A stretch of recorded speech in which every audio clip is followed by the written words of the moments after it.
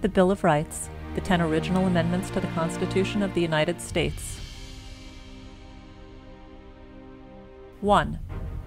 Congress shall make no law respecting an establishment of religion, or prohibiting the free exercise thereof, or abridging the freedom of speech or of the press, or the right of the people peaceably to assemble, and to petition the government for a redress of grievances. 2. A well regulated militia being necessary to the security of a free state, the right of the people to keep and bear arms shall not be infringed.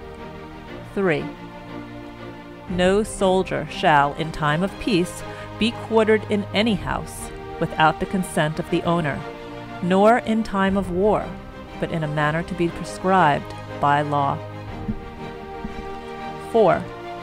The right of the people to be secure in their persons, houses, papers, and effects against unreasonable searches and seizures shall not be violated, and no warrants shall issue but upon probable cause, supported by oath or affirmation, and particularly describing the place to be searched, and the persons or things to be seized.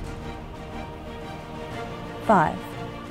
No person shall be held to answer for a capital or otherwise infamous crime, unless on a presentment or indictment of a grand jury, except in cases arising in the land or naval forces, or in the militia, when in actual service in time of war or public danger.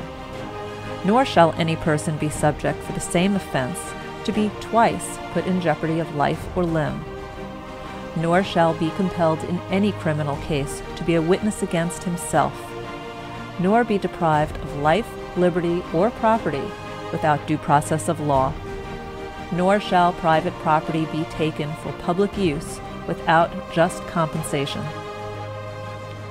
6.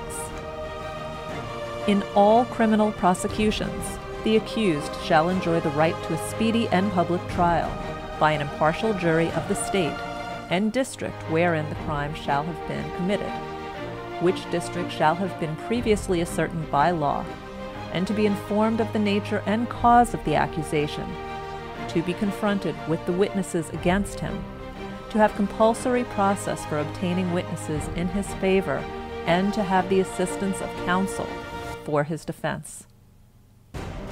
7.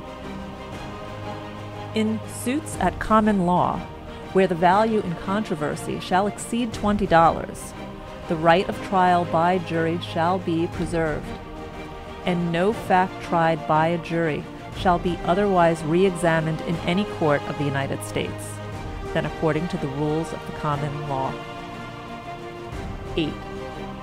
Excessive bail shall not be required, nor excessive fines imposed, nor cruel and unusual punishments inflicted.